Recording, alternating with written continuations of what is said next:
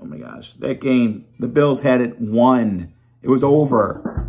It was over. It was over.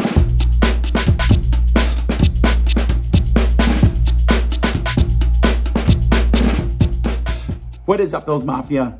We have 91 days to go until the Buffalo Bills win Super Bowl 57. This channel is going to document every single day leading up to that amazing moment with a video. Yes, we are going to win the Super Bowl. Even after today's strange, bizarre, insane, wackadoodle loss to the Vikings. Guess I made a big mistake. I was live streaming from the stadium today with me and my kid having fun and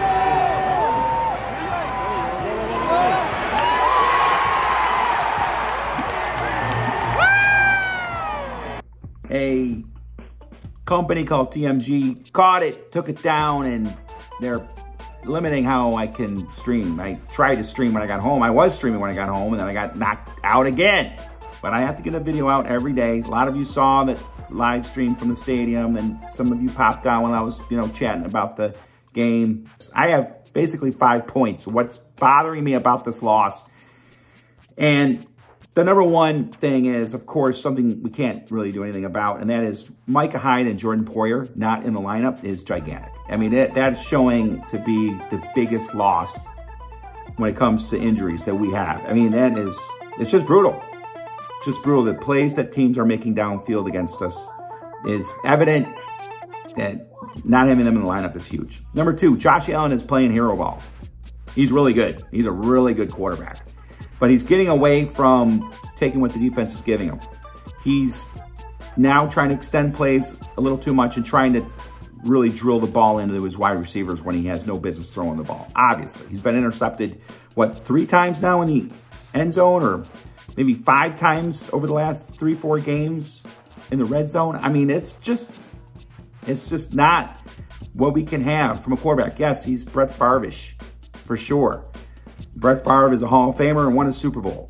But Josh Allen, I think, needs to scale back his elevated expectations of himself moving forward.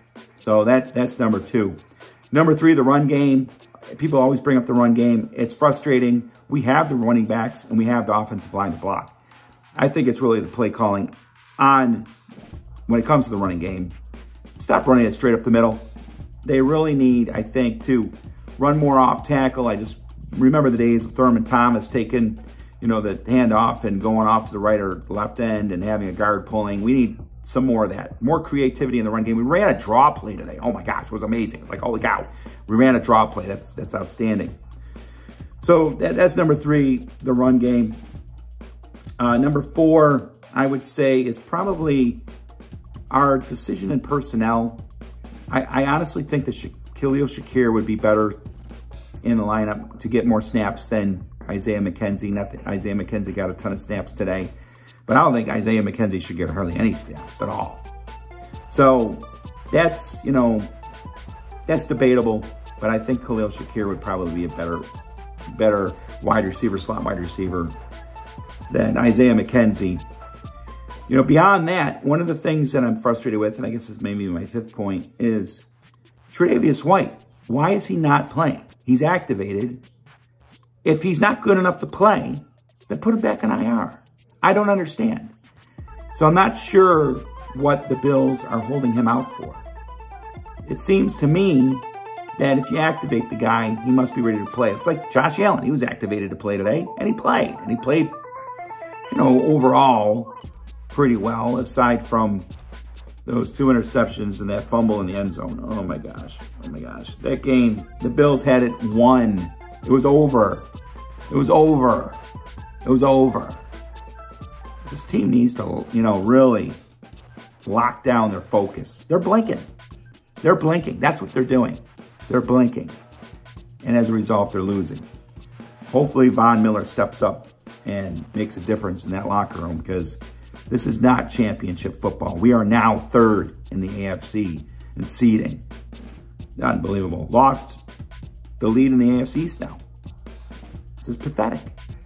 Pathetic. All right, so that's that's it. That's my video for the day. Don't have much of a voice left. unbelievable. It was great going to the stadium. Loved live streaming it. Obviously, was not a good move.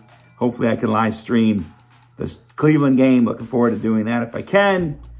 And hanging out with you guys. Don't lose hope. But, you know, I'm, this, I'm with you, man. Two losses in a row now against teams that we had beat. That's just, that's not boding well. But this is a second half team. Like the last two seasons, the Bills really kicked it in the gear the last half of the season. So hopefully that's what we're going to see this time around. And remember, we're the hunted. Teams are coming after us now. Was this a Super Bowl preview? Could have been. Vikings look decent. They look pretty good. Second half for sure. Love to know what you think. Comment below. And sorry for those who jumped on the live streams and they were knocked down. Hopefully uh, I'll get that all squared away and we'll just keep rolling towards Arizona. This team is going to get there. We're going to get there. We just got to let this wash over us get back to work. See you tomorrow.